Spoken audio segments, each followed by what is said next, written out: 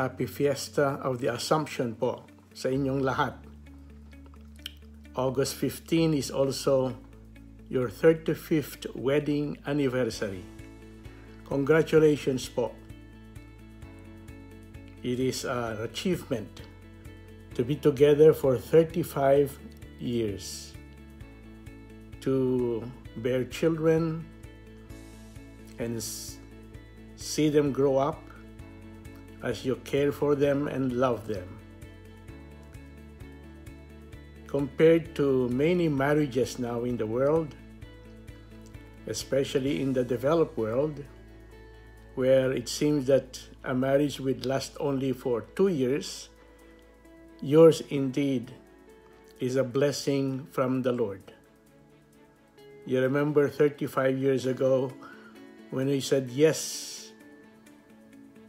to the Lord and to one another.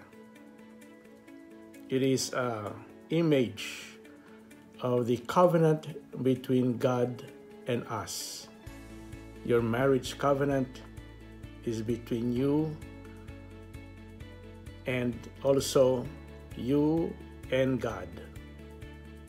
That is why 35 years of marriage life is a blessing from the, from the Lord. And I would like to congratulate you for this achievement. Thank the Lord for this day, the Feast of the Assumption.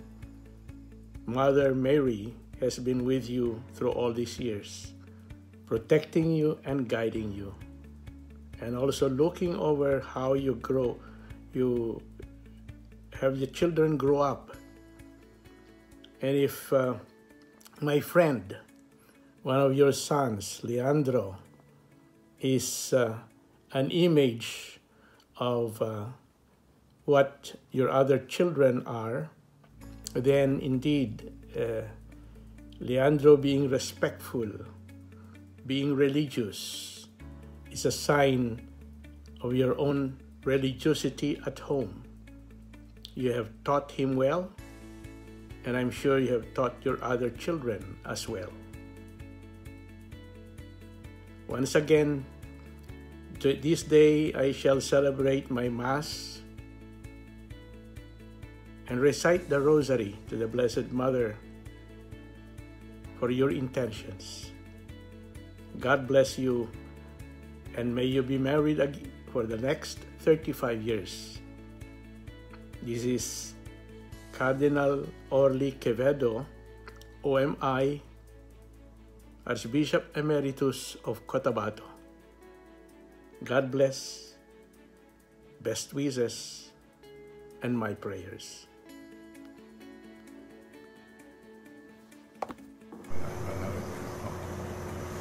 Magandang araw po sa inyo lahat. Ako po ang Cardinal Rosales at ngayon natatanda ko na kung may napilala mga mag-asawa noon sa Tagaytay sa sama ng mga popularity. Binabati ko kayo dyan sa Tricky. and Ed. at kanyang may bahay, um, Vicky Tesorero.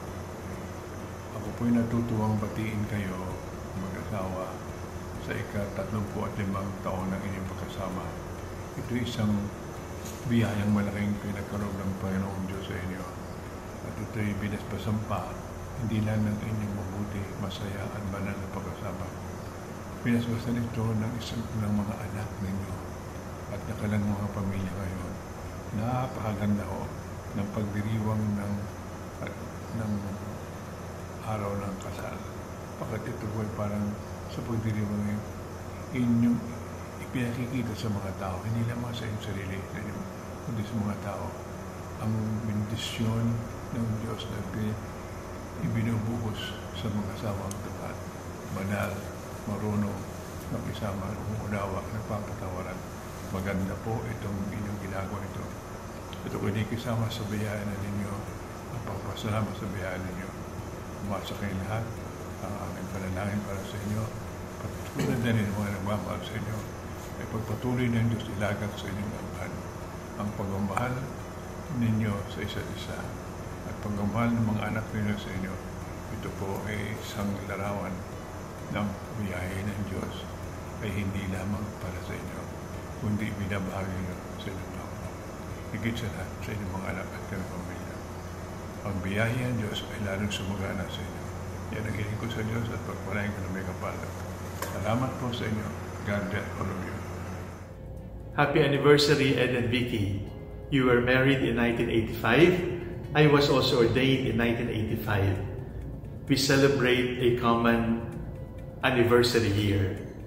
Today, I greet you happy anniversary. You were called to be holy together as husband and wife. I am called to follow the Lord as a priest. This Jubilee year gives us an opportunity to renew our thanksgiving to the Lord. Because without the Lord, you would not have met. Without the Lord, you would not be here. Without the Lord, nothing is, nothing is ever possible. But this Jubilee year is also an opportunity for mercy, for forgiveness, to seek forgiveness, and uh, to offer forgiveness. Because the 35 years, although blessed years, were not perfect years. So, into his life some rain must fall, and rain has fallen, and we seek mercy, and we give mercy, because the perfect face of love is mercy. And then we move on. Go forth. Go forth and be a blessing for others. We look forward to our 40th, to our 50th. We will celebrate it together. Our Jubilee is an opportunity for thanksgiving, for forgiveness, and for moving on. Happy anniversary. May the Almighty God bless you both, the Father, the Son, and the Holy Spirit. Amen.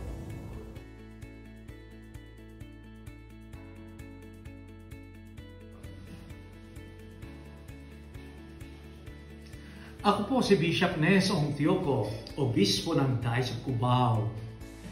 Gusto kong bumati sa inyo, magulang ni Leandro, isang matalik na kaibigan. Dahil sabi po niya sa akin eh, 35th wedding anniversary ninyo. At napakaganda. Yung mga pangalan ninyo, naging tapat kayo sa loob ng 35 years. Alam niyo ang simbolo ng 35 years? Coral. Yung pong coral, nakikita po yan sa ilalim ng dagat. But it is form, nabubuo ito sa hatagal ng panahon. Ganun na buo ang inyong kasiyahan, tagumpay sa pamilya. Simula nang kayo pinagbuklod ng Diyos, unti-unti inalagaan ninyo. Talagang ito ang inyong, tapat kayo sa inyong family name, tesorero. Yan ang kayamanan ninyo. Mabuti kayong katiwala. May pinagkatiwala sa inyong Diyos, ang inyong pamilya, ang inyong pagmamahalan, inalagaan kaya punong-puno kayo ng tuwa at pasasalamat sa okasyon ng inyong 35th wedding anniversary. Kuya Ed and Ate Vicky. Ed, ano ibig sabihin po nun? Uh, Sia de Luce. Ano ibig sabihin nun? Sinag ng liwanag. Napakaganda. Kuya Ed, kapag tapat tayo sa ating pangalan, tinuturo ang liwanag ni Kristo. Tinuturo mo si Jesus sa iyong buhay. Salamat. Isa kang mabuting katiwala ng Diyos. Ganon din ang iyong kabiyak. Si Ate Vicky Vinculo de Amore. Chain of Love. Wow! Dahil sa kadena ng iyong pagmamahalan, buong buo ang inyong pamilya. Yung mga anak ninyo, maraming natutunan sa inyong matinding pagmamahalan. Kaya sana po, panatilihin yung katapatan nyo sa isa't isa. You are indeed a treasure of God. Dahil mabuti kayong katiwala sa anumang pinagkatiwala sa inyo ng Diyos, kayo naging tapat. So, happy 35th wedding anniversary. More graces, more blessings sa inyo at sa inyong mga anak. Sumainyo ang Panginoon at pagpalain ng makapangyarihang Diyos, Ama at Anak at Espiritu Santo. Amen. Eden Vicky, happy 35th wedding anniversary. Mabuhay po kayo sa Panginoon.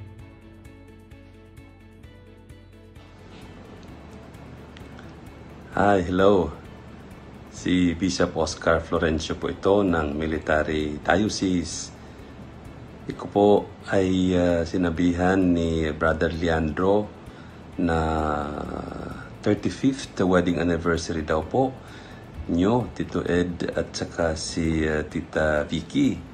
At napakaganda ang pangalan na naibigay ni uh, Chiara, no? Sia de Luce Vincolo d'Amore. Napakaganda po yan. No?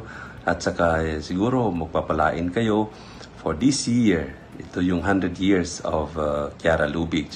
And uh, siguro she will also be praying for you, for your family, for more years in your married life. So, ito po, uh, I'm wishing you all the best as you celebrate on August 15, the 35th wedding anniversary. Sana po um, makakapunta sana kami uh, kasi niyayaya kami ni Leandro. But uh, sa pandemyang ito, sa COVID na ito, siguro we'll just be sharing with you our prayers and uh, best wishes as you celebrate your 35th wedding anniversary. So God bless you po. Ingat palagi. Stay safe and healthy. God bless you always. I warmly congratulate you, Eduardo and Maria Victoria, on the occasion of your 35th wedding anniversary. The church rejoices with you. Every time a couple celebrates their anniversary, especially wedding anniversary, you can be assured that the church is with them, rejoicing with them. Indeed, there is reason for you to celebrate and to rejoice you have been gifted with three wonderful children. Thank you so much for your care, your love, and fidelity to each other. You are becoming a witness of the sacramental grace of marriage.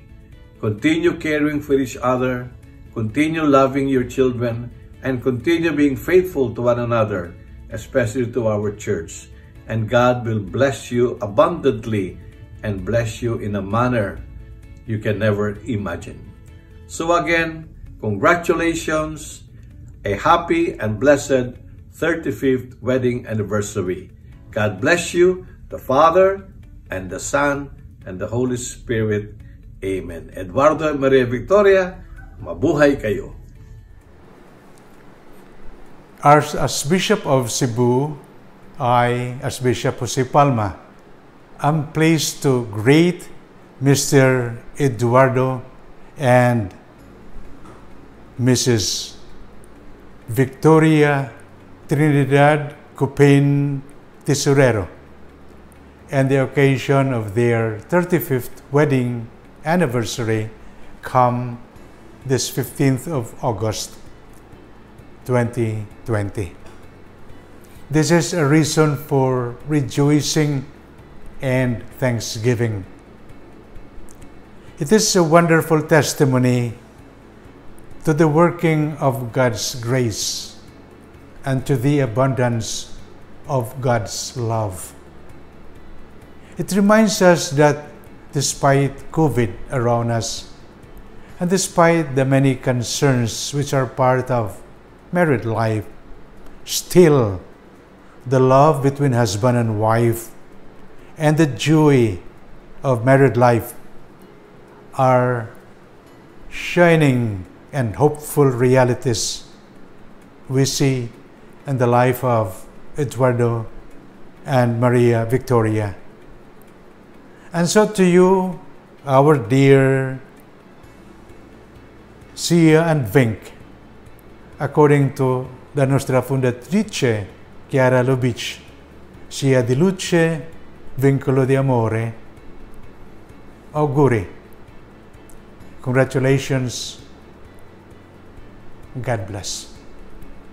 Ito po si Archbishop Gilbert Garcera, Arsobispo ng Lipa.